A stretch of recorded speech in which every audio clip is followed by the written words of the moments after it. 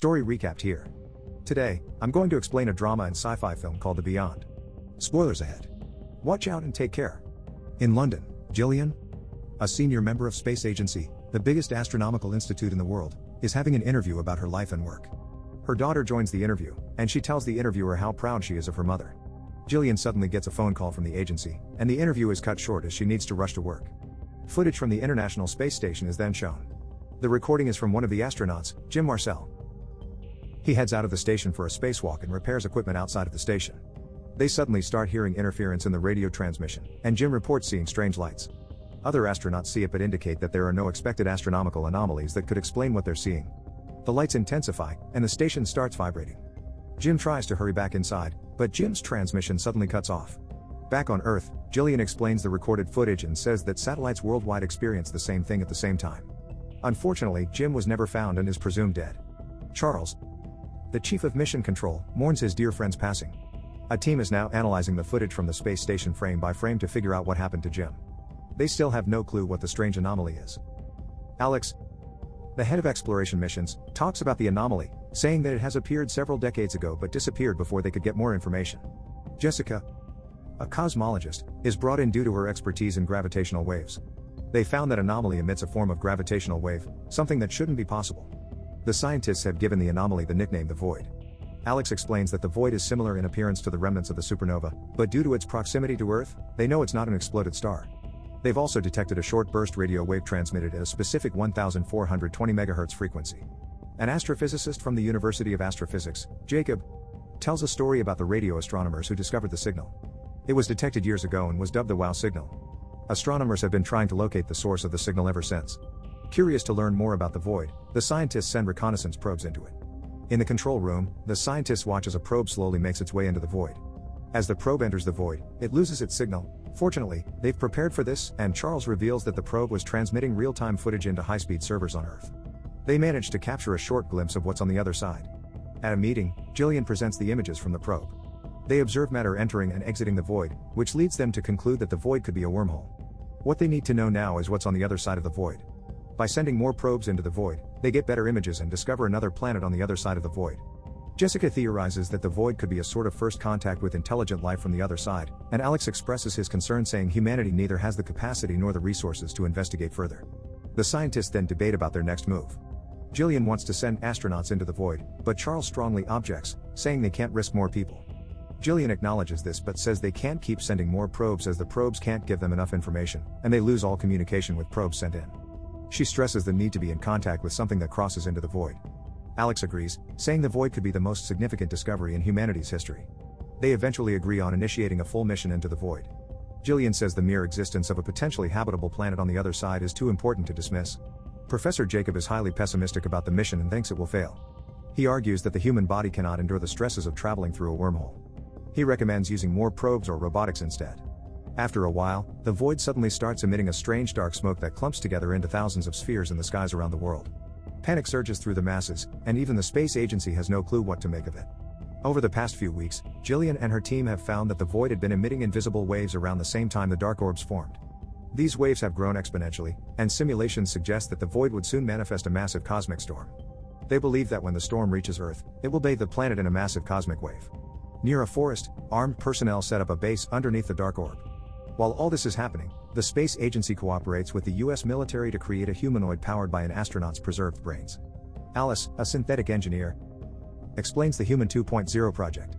A prosthetic with the same organic makeup as a human will act as a vessel for the astronaut's consciousness. In the lab, Alice opens up a robotic human's head compartment that will house the brain. She explains the material inside the suit has millions of tiny neural fibers that will allow the brain to move the body. She compares the empty humanoid to a computer without a hard drive. For the following days, Gillian and her team interview candidates for the mission. They're informed that the transfer to Human 2.0 is permanent.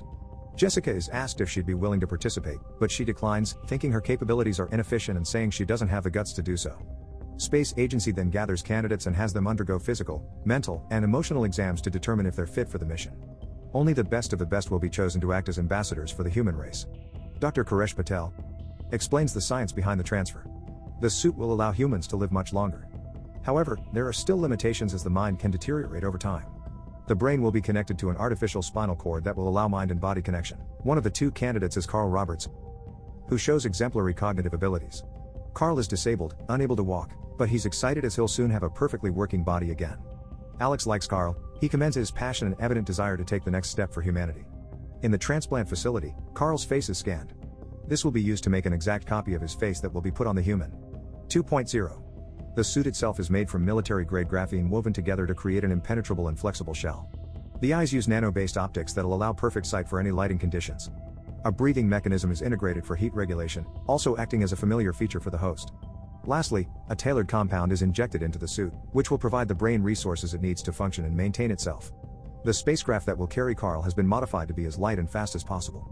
All the technology needed to keep a human alive is removed from the ship as Human 2.0 is self sustaining. Sockets will then be connected to the humanoids, monitoring their conditions and feeding information to the brain. Alex focuses on alien interaction. He has manufactured a hard drive containing all there is to know about Earth in hopes that when they contact the alien lifeforms, they can communicate and befriend them. Back in the transplant facility, Dr. Koresh and his team prepare Carl for the procedure. The entire process will take about three days, and he'll have to be injected with a cocktail of anesthetics throughout.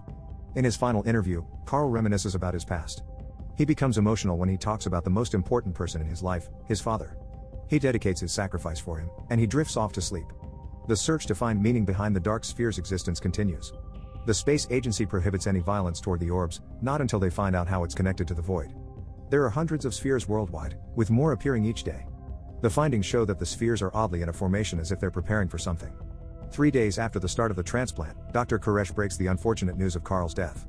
Carl's brain couldn't fuse with the artificial spinal cord. His biological makeup was not compatible with the organic material in the suit. Everyone is in dismay with the outcome, but the search for another candidate continues. To prevent another loss, Alice configures Human 2.0. She plans to introduce organic cells from the candidate and inject it into the material inside the suit beforehand, increasing the chance of a connection to form. Meanwhile, Alex suggests sending robot soldiers to the void as their time is running out. However, Gillian doesn't want alien life forms to view humans as a threat. Scientists figure out that the employees in the agency have undergone thorough health related tests for their safety from the dangerous materials present in the facility. With this, they find three candidates with a precise biological makeup that's compatible with Human 2.0. One of the three is Jessica. The next day, Jessica visits Gillian to talk about her doubts. She agrees that her knowledge will be helpful in the mission's success, but the permanent transfer to a robot body frightens her. Gillian assures that her family will be taken care of if she doesn't make it. After careful consideration, Jessica finds the courage to accept the responsibility. Alex tries to change her mind, saying there are still two other possible candidates. However, Jessica is sure that she's the most qualified out of them. During his interview, Alex voiced his concern about Jessica's inability to lead such a critical mission. Gillian counters his opinion, saying that Jessica's thirst for knowledge and ability to look further than what the eye can see makes her more than competent to lead. Days after the transfer procedure, Jessica awakens as a new woman. Her brain accepts the vessel, marking their first success. Gillian and her colleagues observe Jessica. Her face exudes happiness as her friend is now reborn. Jessica survived but is far from stable. She still hasn't grown accustomed to her new environment, finding difficulty talking and performing basic motor skills. Alice reassures her that the team is working on fixing her speech and that she'll be fully operational soon enough. Jessica can finally speak, she feels the same and, at the same time, different. Her entire consciousness and identity transferred successfully, and the final obstacle is her physical rehabilitation. The day of the launch arrives, and a robot soldier accompanies Jessica on the spacecraft. The rocket lifts off, leaving Earth's atmosphere. The link between Mission Control and Jessica has been established, and they get access to what she sees. The spacecraft enters the void. Jessica describes her surroundings on the transmission. Jessica describes the void as beautiful, but as they get near, the pressure gets stronger. Her readings suddenly go off the charts, and the void starts distorting everything. Jessica's ship enters the void, and mission control loses signal. Jessica is on her own, and the only thing everyone can do now is to pray. Gillian hopes that they'll return within a year. However, she also prepares for the possibility of them not returning at all. A week after the launch, Jessica's craft reappears, and radars detect it falling into the Atlantic Ocean. No one predicted them to return in such a short period. In the ship, they found Jessica alone, with no signs of the robot soldiers' whereabouts. Mixed opinions circulate within the space agency. Gillian believes the mission is a success while Alex deems it to be a failure. He further states that this could be a warning from the aliens. Meanwhile, Jessica is in an unconscious state while being quarantined. They have no idea when or if she'll wake up. With the technology embedded in the suit, they find out that several years' worth of memories are recorded in Jessica's brain despite her being gone for only five days. The team processes the data, translating Jessica's memory into video. However, they have difficulty producing a clear feed. The situation regarding the dark orbs escalates, and the military grows restless. They start firing at the sphere, but the spheres are unaffected, seemingly absorbing everything the military is throwing at it. Jessica wakes up suddenly, but only for a moment as the process of collecting memories delays her recovery. Gillian desperately wants answers, so she asks the unstable but awake Jessica about the events in the void. She tells them that the robot soldier disappeared from the craft in an instant. He eerily floated away as if something had abducted him. Then a flash of light exploded from his arm. The ship then crashed into a planet. She traveled the surface, touching the rocks, the dirt, and the flowers. She encountered dark smoke just like the one in Earth's skies. She then got transported into a white room, and the shadow took a different form and approached her. Jessica saw Jim Marcel, and Jim kept saying to her that everything was going to be okay. Cryptic messages were transferred to her mind, and that's all Jessica remembers. Gillian and the space agency cannot believe the information presented to them. If what Jessica says is true, then the alien life forms may be peaceful.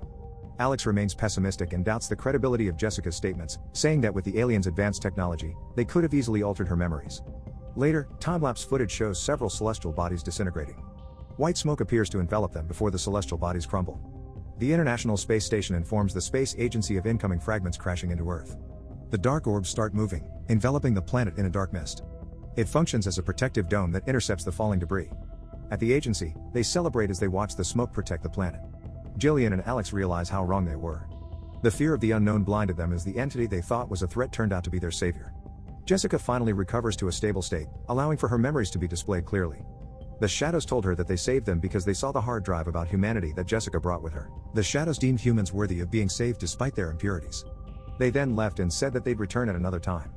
Jessica says that everything that's been happening is all part of a cycle created by the aliens to purify the universe and keep it stable. On another day, Jim Marcel is detected in the Arizona desert. Military helicopters rescue and bring him to the space agency. They tried to ask him about his experience on the other side, but he has no recollection of it. The void and the smoke disappear, but the agency starts noticing strange occurrences above the Earth's atmosphere. Remnants of the void form a swirling cloud of gas and dust that flourishes into a planet.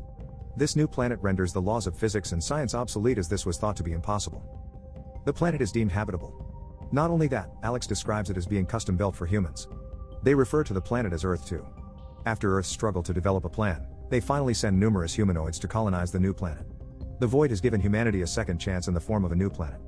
Everyone hopes that this can act as a lesson for humanity to do better and ultimately prove that their existence is worth saving.